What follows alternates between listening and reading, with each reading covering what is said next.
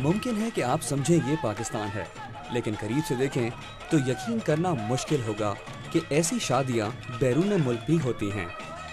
امریکہ میں رہنے والے مسلمانوں کے لیے اپنی ثقافت کا تحفظ کرنا اتنا اہم ہے کہ یہ ان کی ہر چیز میں نمایاں ہے۔ چاہے وہ شادی سے پہلے کے ریت رواج ہوں یا خوبصورت روایتی ناچ گانے یا بہت زبردست علاقائی کھانے۔ Um, I feel very confident and very um, proud of who I am. uh, firstly, of course, a Muslim, and then um, being able to represent myself as a Pakistani in the U.S. It's um, it's a known stereotype that is pretty hard, and um, you know to be able to live in a different country from where you know aside from where your parents are from. Um, from personal experience, I don't think it's been hard at all.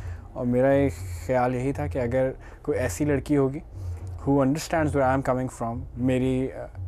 ماں کی مجھ سے کیا expectations ہیں اور میں کیا expect کرتا ہوں اپنی وائف سے اور وائس ورسا ٹھیک ہے؟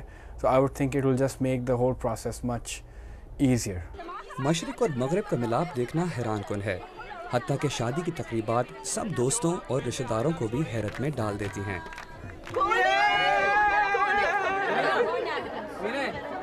جہاں تک کہ ہم لوگوں کا تعلق ہے ہم لوگ ہمیشہ یہ کہتے ہیں کہ شادی سے ہم لوگوں کی زندگی شروع ہوتی ہے وہیں سے فیملی شروع ہوتی ہے۔ وہیں سے پوری یونین آف دا فیملی کا جو کانسیپٹ ہے وہ شروع ہوتا ہے۔ تو میں یہ دیکھتا ہوں کہ he be very successful he successful in his career as well dollars میں ہم امریکہ میں کتنا پڑے گا ایک ہاتھ میں چھوڑنا نہیں اب نہیں چھوڑنا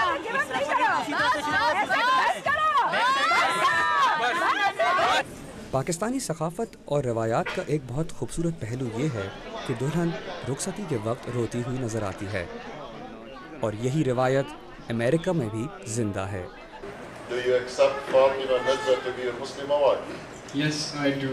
المیہ نے یہ دنیا ہم سب کے لیے بنائی ہے اور اس پہ جو مطلب لائک سیڈ لکیریں کھینچی گئی ہیں یہ صرف ایک you know it's a perception of mankind it's not you know ہم کہیں بھی رہ سکتے ہیں اور اگر ہم اپنی زندگی آرام سے گزار رہے ہیں we never threat anybody not a government not you know country as long as you're doing which you're suppose to be doing تمام رونے دھونے کے باوجود شادی کا موقع پورے خاندان کے لیے خوشی کا یادگاری موقع ہوتا ہے۔ یہ ایک ایسا وقت ہے جب دو لوگ زندگی بھر ساتھ نبھانے کا عہد کرتے ہیں۔ اور اگر ایسے موقعوں پر آپ کے خاندان والے آپ کے ساتھ ہوں تو ملک سے دور رہنے کا احساس بھی کم ہو جاتا ہے۔